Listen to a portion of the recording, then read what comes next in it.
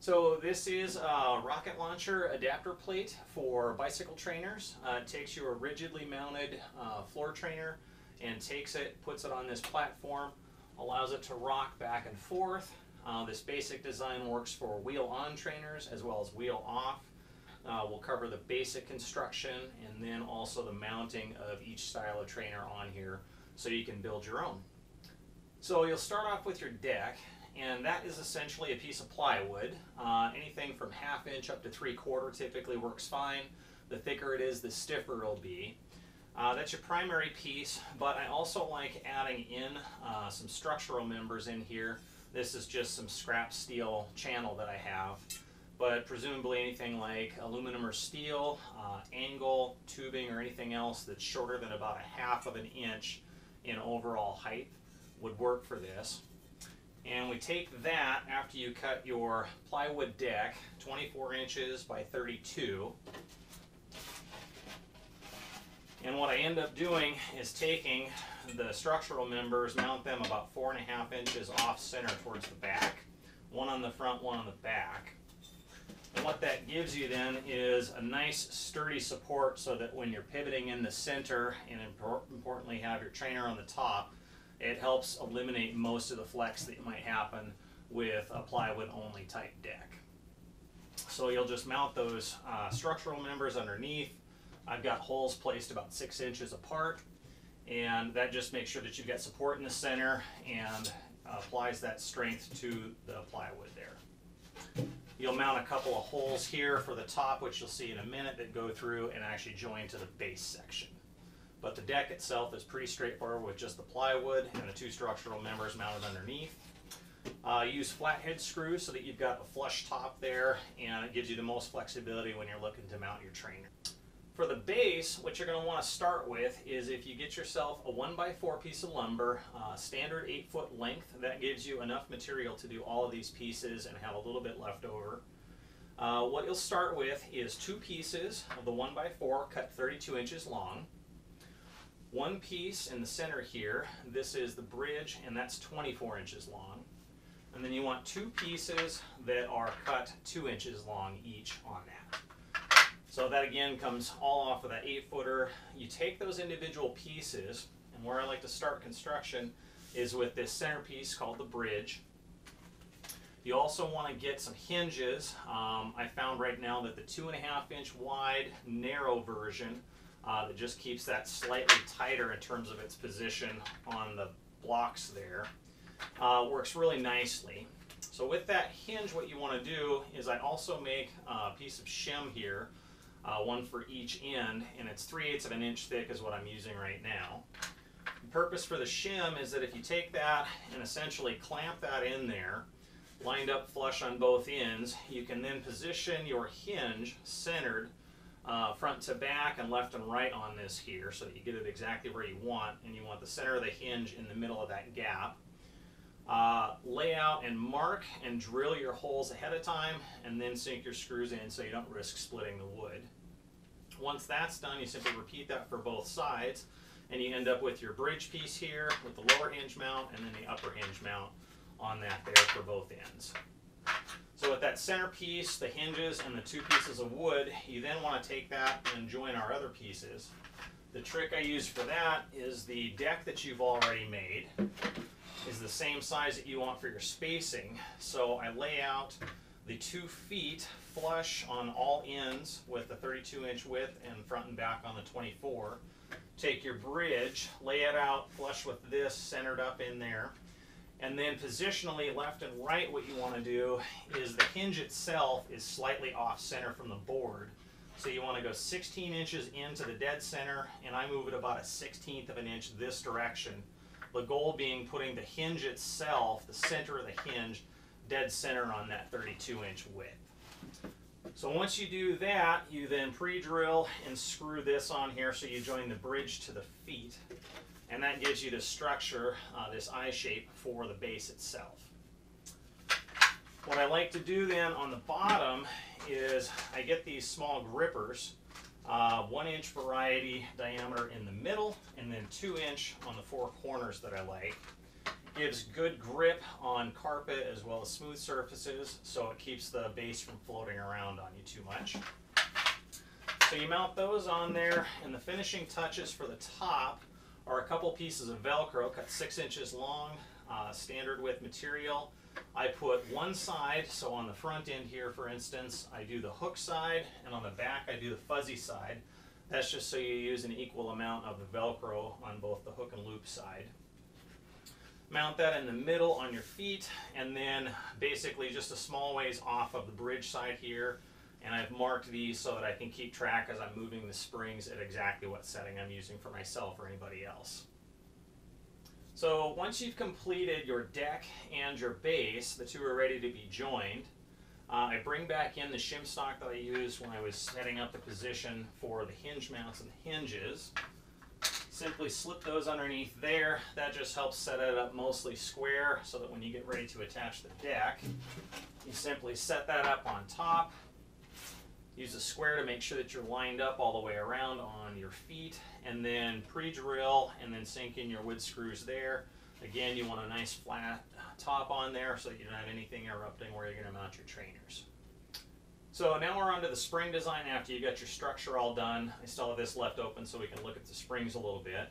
What I found works pretty well is any kind of closed cell foam, uh, EPDM, polypropylene, which is what this is, and anything will work probably. I've seen people use Nerf balls or anything like that, so feel free to get anything that you've got your hands uh, access to and can experiment with.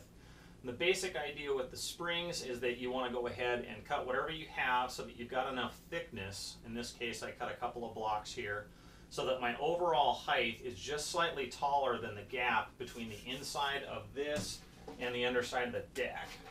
The idea being is that you want to make sure there's at least a little bit of compression on the spring as it's sitting in its neutral position here with the deck flat so that as you go to tilt or center it up, it basically wants to come back to that center and have at least a certain amount of support in the middle. So I take the couple of pieces that I've got, cut them the same size. In this case, these are two inches by inch and a half. I cut those together and then using some Gorilla Tape, just create a loop all the way around it so that I've got one block of a foam spring essentially. Now the nice thing with this is, is depending on the foam you get, you're going to need to play with the size or how many pieces of stacking material you have. So I've created, in this case, two different uh, sizes and effectively a different spring rate for both of them. Then additionally, once you get these set up, you attach a piece of Velcro to the bottom. And if you want, you want to make sure that you match up your different sizes. So you've got a large one, for instance, that goes on the front in this case. You attach that onto there, one on the rear in this case. So both of those are attached. And the reason for the markings here, of course, is that you can simply slide these in or out, and the further they are from the pivot point in the middle, the stiffer that makes the deck. And as you move it closer to the center, then it makes it easier to move because your leverage on the spring is higher. So what I do is I make a couple different sizes and then I just start experimenting with exactly what feels good. And with the markings, you can keep track of where you're at. It's definitely a lot of trial and error to find the springs you like and the positioning that gives you the amount of centering force you want.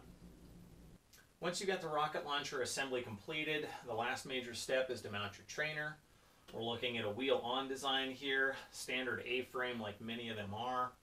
And what you want to do to start with is pre-fit your trainer. So you position it left and right so that your axle is centered up over the pivot. And then front to back, wherever it fits, usually centered on there. Two ways that I've mounted it in terms of retention. Uh, on the bottom, you can use the little furniture cups. After it's positioned, you simply slide these underneath, mount them with wood screws. Or the other option you can use is simply skateboard grip tape or uh, sandpaper mount a portion of that glued or uh, put on with the adhesive underneath where your feet are going to be and that gives just enough friction to actually maintain the position of the trainer on the deck in addition to the straps which we're going to look at now. Uh, just use your run-of-the-mill tie-down strap with the ratchet so that you can put a good tension on there. Uh, I like the ones here that have enough length between the primary buckle side and the hook that you have a loop on here and the reason you want to do that is on your loose end, you simply run the strap underneath around the top of your trainer and over there so it doesn't interfere with the axle at all. Little tension on both sides. And then with your attachment side here, do the same basic thing, loop that around underneath. Apply your tension on there so that your hooks and the straps are secure and put enough tension on there, a couple clicks past being fully tight so you've got good support on there. That locks it into either the cups or if you're using the sandpaper grip tape idea that it won't allow it to slide. Gives it stability and then transfers all of that load from the axles of your bike into the deck and then the springs for the tilting motion. So for wheel off trainers, uh, like the Kickr, Hammer in this case, uh, Neo or Drivo, I take a little bit different approach. Uh, you want to start by positioning your trainer on there and make sure that you have it positioned left and right. Some of the trainers are a little difficult to tell exactly where the center of your axle is, so it can help to install a bike on there and just make sure that your bike is directly over the center of the pivot that you've got. You can mark this, use a tape measure or a plumb bob. Uh, I used a laser uh, to eyeball the position, make sure my frame was square. But once you're happy with your position, then what I like to use are these L corner brackets. And I mount two on the right side here, two on the left in this case, and one in the front and rear so that the trainer itself has a locked in position and can't slide forwards, backwards, or more importantly, left to right. As you've got it in there and the L brackets are holding it in position, then you've got your support legs coming out. And underneath there, I use a strap and buckle assembly, uh, one inch strap in this case. Gave myself enough length so that you can loop all the way around the leg one time at least into the buckle and then pull the strap tight so you're secure.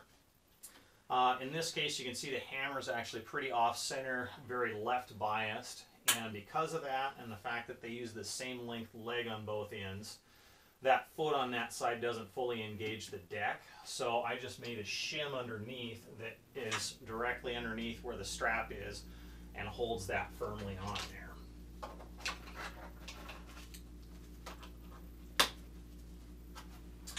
So the strap's engaged like that and pulled tight. That prevents it from tipping or popping itself off the deck. And the only time that would really ever happen is when you're fully engaged on the full far side there. For a Kickr, it would be roughly the same. Uh, center it up. I would use the L brackets in the middle to prevent it from moving left and right, as well as one front and back. And then through the diagonal legs, same basic approach on this one. Uh, Neo would be a little bit different.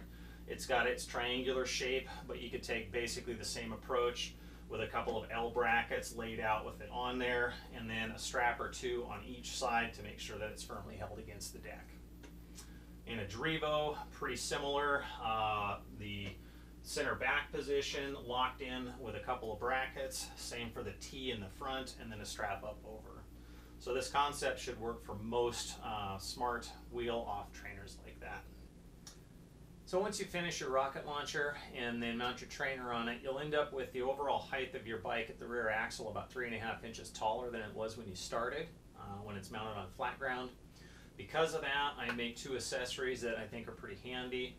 One of which is a new front wheel riser, and I just set that up so that I have the ability to set it up uh, at least even, or in some cases, slightly higher with the front axle, one to two inches, um, just in terms of comfort or what you feel like as far as riding indoors. But the front wheel riser will get it up so that you don't have a nose down um, direction on that with the bike. Additionally, uh, to make mounting and dismounting a bit easier, uh, I build a center platform. You can do it out of plywood, a couple of 2x4s or anything like that for the legs. Set the height so that it's easy enough for you to get up and um, throw your leg over and hop on the bike.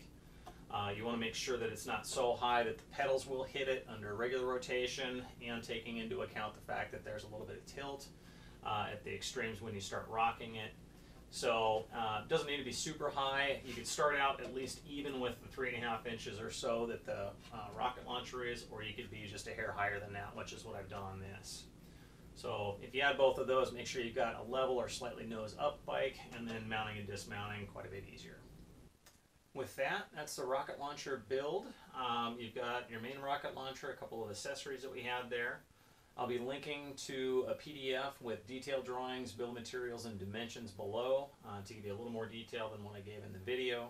but the essence is covered in here. So hopefully that's enough for you to build your own. And uh, let me know if you have any questions in the comments. Uh, and I'd love to see any of your guys' designs if you get something built up, and let me know how you like them. Thanks.